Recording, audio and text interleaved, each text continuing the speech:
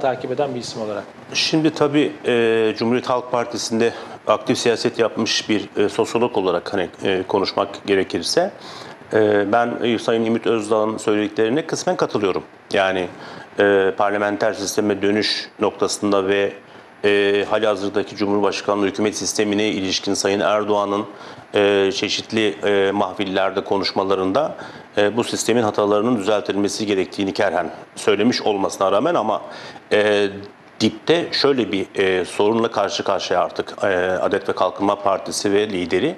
E, e, hatırlarsanız Tuncay Bey Sayın Erdoğan e, başkanlık sistemini kaldırıp Cumhurbaşkanı hükümet sistemini getirdiğindeki asıl e, hedef ya da asıl e, tasarı neydi? Şöyle bir argümandan yola çıktılar o dönemin AKP lideri ve kurmayları. Yani Türkiye öteden beri sağın %60-65 civarında bir oy aldığı, solun da e, %30-35 e, ama dönem dönem %20'lerin de altına düşüktüğü bir bir politik yelpazede e, sağın doğal lideri olduğunu düşünmeye başladı ve sağdaki diğer sağ partileri, irli ufak sağ partileri e, kendi bünyesine kattı. Ne yaptın? E, Numan Kurtuluş'u, Has Parti'yi kendi bünyesine kattı. kattı. E, Sayın Süleyman Soylu'nun o dönemki Adalet Partisi'nin lideri Süleyman Soylu'nun geçişi oldu.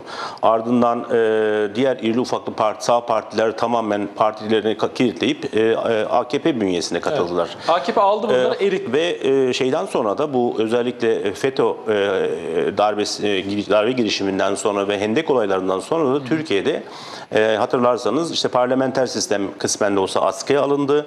Güçler ayrılığı ilkesinden ortadan kaldırıldı ve artık o süreçten sonra e, torba kanunlarla Cumhurbaşkanlığı hükümet sisteminin Türkiye'de e, ot- yerleştiğini biz tanık olduk. Fakat geçen süreç içerisinde bu sistemin Türkiye'de ekonomik e, anlamda, siyasal anlamda, e, sosyal anlamda e, sistemde çok derin yaralar e, gedikler aç, açtığını gözlemledik. E, her ne kadar AKP lideri ve kurmayları bunu görmüyor olsalar da e, e, aslında AKP ya da Erdoğan kendi ayağına e, taş e, balta vurdu. Yani bu sistemle e, %65 %35 kombinasyonunu sağlayıp e, ebedi bir Putinleşme, işte diğer e, otoriter liderlere özenip bir e, bunun e, bu liderliğinin bu otoriter sistemin artık e, sürdürülebilir bir hale geleceğini öngördüler ama bu öngörüleri e, süreç içerisinde geldiğimiz noktada gerek 2019 yerel seçimleri gerekse 2024 yerel seçimlerinde AKP'nin e, çok e, dramatik bir şekildeki düş, e, oy kayıp, kayıpları sorgulanmaya başladı. Bu sorgulama esnasında da e, yine bir güçlen yine bir parlamenter sistem belki e, Erdoğan başka mahvili de buna başka bir isim bulacaktır. E, yani nasıl olsa şu an %30-32 bandında ya da %28-32 bandında hala kemik bir seçmen tabanına sahibim. Evet. E, hani e, Cumhuriyet Halk Partisi'nin belki 2 puan önünde belki 3 puan arkasında gerisinde anketlerde şu anki e, ölçümlemelerde. O zaman ne yapabilirim? Önümüzdeki dönemin 5 yılı e, bir 10 yıl nasıl kurtarabilirim noktasında bir şu an bir arayış Evet. söz konusu bence AKP bloğunda. E, ve o da e, önümüzdeki süreçlerde e, bu e, Burada e, Sayın Ümit Özdağ e, hocaya katılmadığım nokta e, Özgür Özel'le anlaşma noktasındaki soracağım. çıkışıydı. O, o- onu pek desteklemiyorum. Çünkü e, Cumhuriyet O Halk çok net Partisi'nin söyledi çünkü yani. Cumhuriyet Halk Partisi'nin e, son 10 yıldır bununla büyük bir mücadele verdiğini, yani güçlendirilmiş parlamenter demokratik sisteme zaten e, geçiş noktasında bütün politikasını bina ettiğini, e, güçler ayrılığının tekrar yeniden e, güçler ayrılığı ilkesinin e, güç, e, ortaya konması gerektiğini, e, yargı bağımsızlığı, hukukun üstünlüğünün, e, temel hakları ve özgürlüklerin yani bu, bu sistem de yaşanan bu radikal değişimle bütün biz bunlarda e, dünya demokrasi e, endekslerinde gerilemeye başladık. Özgürlükler endeksinde gerilemeye başladık. Yani Cumhuriyet Halk Partisi e, zaten güçlendirilmiş parlamenter sistem e, tasarısı ve e, binlerce sayfa metinleriyle Evet, evet, e, ittifak partilerinin e, alanındaki uzman hocalarıyla tasarlanmış ve e, ikinci yüzyıla çağrı beyannamesini de e, merkezine oluşturan ki dün grup toplantısında Sayın Özgür Özel Genel Başkan da e, bunu özellikle altına çizerek bir kez daha vuruldu. Güçlendirilmiş parlamenter sistemden asla e, vazgeçmedik. E, ama böyle bir anlaşma noktasında tabii Sayın Özdağ'a katılamayacağım. Çünkü Evet. Cumhuriyet Halk Partisi'nin kendi e, bir programı, bir hedefi, bir e, önceliği olacağını düşünüyorum. Kendi takvimi vardır mutlaka. Cumhur Uzun da şimdi yayınımıza bağlandı. Hemen kendisine soralım. Ee, Cumhuriyet Halk Partisi Muğla Milletvekili Avukat Cumhur Uzun eski baro, Muğla Barosu Başkanıydı kendisi sevgili seyirciler. Şimdi yeni dönemde milletvekili. Sayın Uzun hoş geldiniz yayınımıza. Hoş bulduk. Türkiye Büyük Millet Meclisi'nden hepinizi saygıyla selamlıyorum. Özkan Hocam, Sayın Köy Atası ve izleyicilere iyi akşamlar ve saygılarımı evet. iletiyorum. Şimdi meclis gündemini o zaman hızlı alalım. Çünkü biliyorum meclisteki çalışmalarınıza ara verip e, geldiniz. Çok kısa onu alalım. Önemli bir soru soracağım. E, şu anda mecliste ne konuşuluyor? Gündemde ne var? Evet, şu anda mecliste genel kurulumuzda e, vergi kanunlarında değişiklik yapılmasına dair kanun görüşülüyor. Kanunun ikinci maddesi üzerindeki görüşmeler yapılıyor genel kurulumuzda. Aynı zamanda kamuoyunda hayvan hakları yasası olarak bilinen yasa da Tarım, Orman ve e, Köy İşleri Bakanlığı'nın e, komisyonunda görüşülüyor. Onunla ilgili çalışmalarda bütün e, katılımcılarla birlikte devam ediyor. Meclis gündemi bu hafta son derece yoğun. Çok yoğun evet. Ee, e, soracağım bazı detayları ama şunu e, öncelikle sormak isterim Sayın Uzun. Biraz önce tabii siz yayınımıza yeni e, katıldığınız için meclisten gelerek izlememiş olabilirsiniz. İlk bölümde Zafer Partisi lideri Ümit Özdağ'la beraberdik. E, gündemle ilgili çeşitli e, sorularımıza yanıtlar verdi. Programı kapatırken e, önümüzdeki süreçte erken seçimi ne zaman bekliyorsunuz diye sordum. Dedi ki 2026 yılında olacak ve bir parlamenter sistem e, ile bir erken seçim olacak dedi. E, bu konuda dedi Özgür Özel ile Erdoğan anlaştı dedi. E, tam oradan sorayım ben de hemen size. E, böyle bir anlaşma olabilir mi? Olmuş olabilir mi? Var mı? E, siz nasıl değerlendiriyorsunuz Ümit Özdağ'ın bu sözlerini?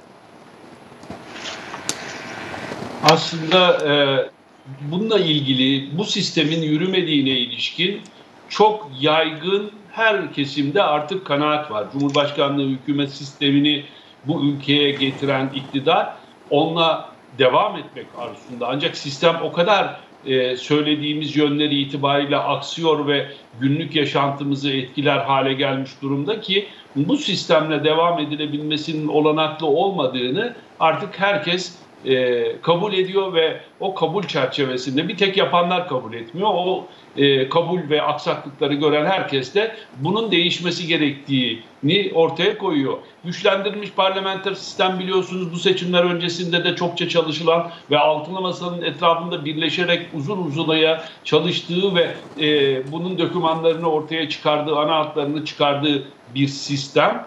Ancak bununla ilgili Cumhuriyet Halk Partisi ile e, AKP'nin arasında ya da e, Sayın Genel Başkanımız Özgür Özel'le Cumhurbaşkanı Sayın Recep Tayyip Erdoğan arasında bir anlaşmaya varıldığı konusu bir tahmin olsa gerek. Böyle bir iddia hiç e, dillendirilmedi. Böyle bir söylenti ya da böyle bir buluşma da e, gerçekleşmedi. Ancak şu söylendi, e, o da e, oldukça önemli.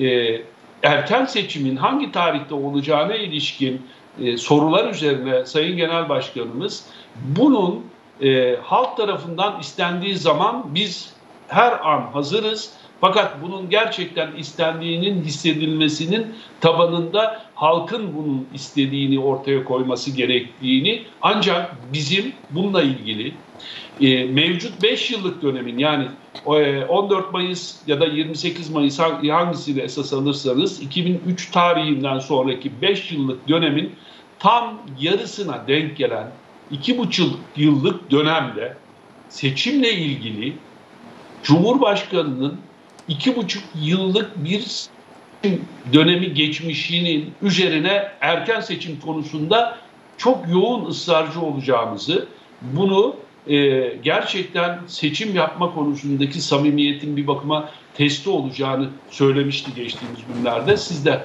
hatırlarsınız. E, bu takvim aşağı yukarı evet. 2026 yılına e, işaret ediyor.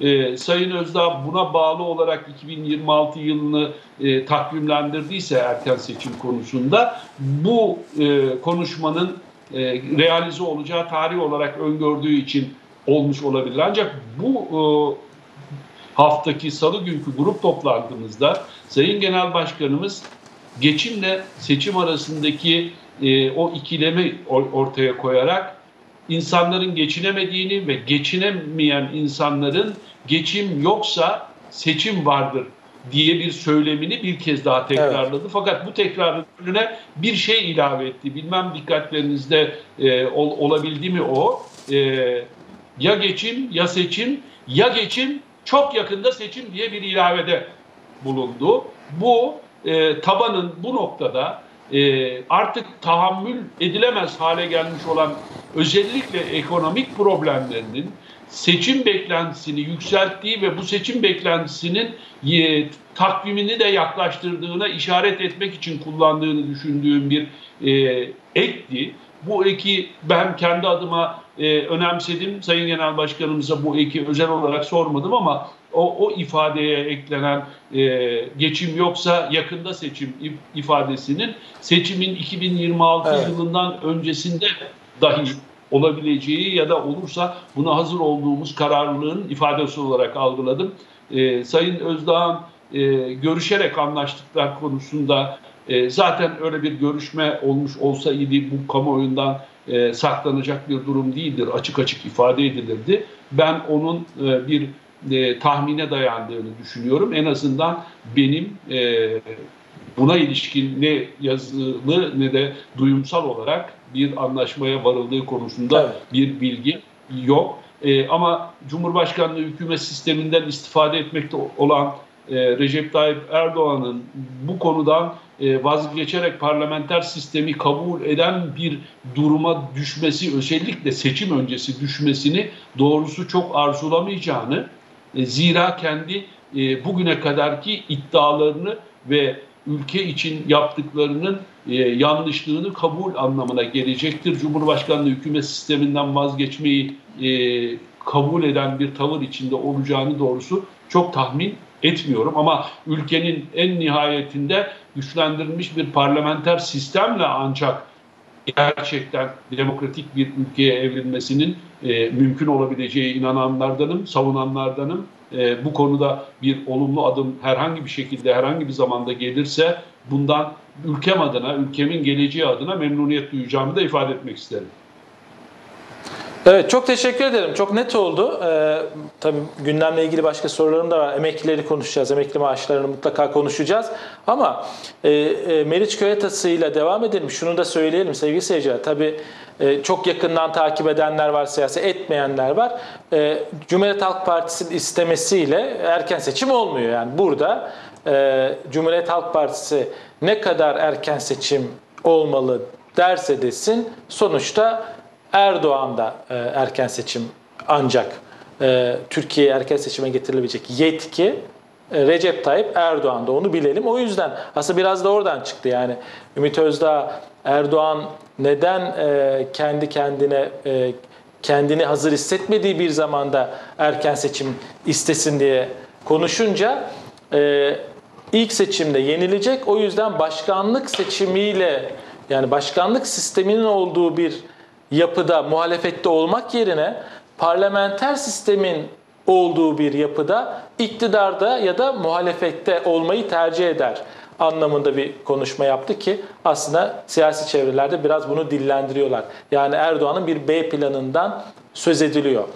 Ee, anketler gösteriyor. Yarın seçim olsa AKP seçimi kaybedecek. Öyle görünüyor. Dolayısıyla buna yönelik de e, sarayda bir takım stratejilerin olduğu, konuşulduğu da biliniyor. Meriç Kuyatası sen nasıl değerlendiriyorsun? E, hem Özdağ'ın bu açıklamasını, gerçi Sayın Uzun e, Özgür Özel'le Erdoğan arasında böyle bir anlaşma, sözlü bile olsa olmadı dedi. Olsa haberimiz olurdu, kamuoyunun haberi olurdu dedi. E, ama 2026 yılında e, bir erken seçim beklentisi de yükseliyor giderek. Şimdi toplumda bir erken seçim isteği ve baskısı oluşuyor. Fakat e, ben e, şunu söylemek istiyorum. 2026'yı konuşacak kadar Türkiye'nin önü açık değil. Türkiye'nin içinde bulunduğu ekonomik ve jeopolitik şartlar o kadar sisli ki yani 2026'yı biz bir tarafa bırakalım. İnanın ben önümüzdeki Kasım ayını ve Ocak ayını göremiyorum. Bakın yani iktisat ve jeopolitikten baktığım zaman uzun vadeli tahminlerde bulunan ve bu tahminlerimin tamamına yakınında is isabetli tahminde bulunan ben Kasım ayından sonra Türkiye'yi öngöremiyorum. Nedenlerini çok kısaca anlatayım. Yani Türkiye'de çok ciddi bir e, çalkantı bekliyorum. Nedir? Şimdi Türkiye şey böyle çok e, uyuşturucu bağımlısı gibi yurt dışı kaynağı paraya ihtiyaç duyan bir ülke. Ve biz şu anda biz şu anda doları baskılayarak yurt yabancı ama çoğu da Türkiye'den yurt dışına para götürmüş hani bıyıklı yabancı dediklerimiz kişilere dolar bazında net yüzde 40 faiz ödüyoruz. Bakın dünyada yüzde 7 8 yüzde 10 faizle tahville borçlanıyoruz. Ayrıca bu tefeci faizidir. Fakat bu carry trade dediğimiz bir sistemle sıcak paraya yüzde 40 para ödüyoruz. Bu paranın ne kadar süreyle Türkiye'ye geldiğini inanın kimse bilemiyor. İnanın kimse bilemiyor. Kasım'da da gidebilir, daha erken de gidebilir. Bu para geri çekildiği zaman çok hani önemli. selden daha çok beter önemli. bir şey. Çok ciddi bir Türk ekonomisi zaten üreten bir ekonomi değiliz. Ve şu anda sadece hani faizdir, borsayla, onunla bununla böyle sıcak parayla ayakta kalıyoruz. Ciddi bir sıkıntı var orada. Zaten üreten bir ekonomi değiliz. İkinci tarafta şimdi bizim en önemli beka sorunumuzdan bir tanesi sığınmacı meselesi. Ve bu öyle bir hale geldi ki Evet. bir tarafta Rusya artık bir tarafta da içerideki sıkı, sıkıştırma nedeniyle e, Erdoğan Esad'la görüşecek. Amerika daha baş bugün söyledi. Hani daha önce izin vermez diyorduk ama Amerikan Dışişleri Bakanlığı Türkiye ile Suriye arasında normalleşmeye izin vermem dedi. Şimdi Kasım'da bile Trump geldiği zaman Trump ki daha deli dolu bir politikalar uyguluyor. Rahip Brunson olayı da akıllarda. Yani lafımı dinlemezseniz sizin ekonominizi batırırım. Ki bakın yani Trump'a gerek yok. Türk ekonomisini batırmak için orta boy bir fon yöneticisi Londra veya New York'taki iki spekülatif hareketle Türk ekonomisi darmadağın edebilir. Şimdi bizim dolayısıyla bir Çok, sıcak çok parayı- önemli açıklamalar Meriç Köyötesi. Bunu- Yani öyle. ABD'ye falan gerek yok. Bir fon yöneticisi de bu bu sığlıkta Yani piyasada her istediğini yapar diyorsunuz. Krize götürür. Yüzde 40 dolar faiz ödüyorsunuz. Buna hiçbir ülke dayanamaz ya. Hiçbir yüzde 40 dolara faiz ödüyorsunuz. Türk lirasına yani Türk lirasına şimdi yüzde 50 faiz e, doları getiriyor. Dolar maliyeti var. İçeride de doları siz yüzde 2, yüzde 3 arttıracaksınız 3 ay boyunca. Adam 3 ayın sonunda yüzde 35-40 net dolar faizi alacak. Yüzde 5 net dolar faizi. Dünyanın iken- hiçbir ülkesinde bu faiz yok değil mi Meriç Köyötesi? Abi yüzde on yok ya. Yüzde on yok. Yüzde beş normal geliş, e, dolar faizi. Siz yüzde otuz beş kırklardan bahsediyorsunuz. Bu tefeci parası Evet. falan Buna Türk bile ekonomisi dayanmaz. hiçbir Evet. ekonomide ya. Bir de ayrıca üreten O yüzden o yüzden diyorsunuz Kasım sonrasını göremiyorum. Yani bu gelen para, e, sıcak para bunun devamlılığını gördüğü sürece kalır. Ama sizin gibi bulanık bir gelecek gördüğünde 2001 krizinin öncesinde olduğu gibi bir anda çekip gidebilir diyorsunuz. bir anda çekip gidebilir. Bir de şöyle bir şey var. Türkiye'de ölçülü ya para ölçüm yapan para birimi yok. Yani doların da Türkiye'de ölçme kabiliyeti kalmadığı için hiçbir piyasa doğru dürüst çalışamıyor. Herkes tuttuğu şekilde fiyatlandırma yapıyor. Yani lokantacı da öyle fiyatlandırma yapıyor. Büyük sanayici de böyle fiyatlandırma yapıyor. Ve mekanizma çalışmıyor. Çalışmayan bir mekanizma var. Üretim gücü olmayan bir ekonomiden söz ediyoruz. Artı şunu söylüyorum tekrar. Bakın Trump'ın da gelmesiyle birlikte büyük ihtimal seçilecek veya yeni başkan Türkiye-Suriye ilişkileri ve buradaki göçmen bu Suriye politikasının tek sebebi şu yıllar önce biz Suriye'de araziyi boşaltalım PKK Kürdistan orada devlet kursun. Yani Amerikan e, Orta Doğu, Büyük Orta Doğu projesinin en basit anlatımı bu. Öyle uzun uzun anlatmaya lüzum yok. Şimdi bu jeopolitik de Türkiye'yi Evet. sıkıştı. Şimdi böyle bir sıkışma hem ekonomik olarak hem de dış baskı olarak bu sıkışmanın olduğu bir ülkede ben 2026 yılını tahmin edemiyorum. Yani 2025'in e, yani bu senenin Kasım'ını tahmin edemiyorum. Hadi bu senenin Kasım'ını atlattık. 2025'in ilk aylarını tahmin edemiyorum. E, dolayısıyla evet seçim baskısı var ama dış konjonktür ve ekonomik konjonktür başka bir şey söylüyor. Başka bir baskı. Evet. yani Şimdi başka- bu, bu buradan devam edelim Meriç Köyatası. Daha tabii ekonomiyi çok konuşacağız ama birazdan emeklilere geleceğim. E, Cumhuruzun da tam o gündemin içinde e, Ankara'da.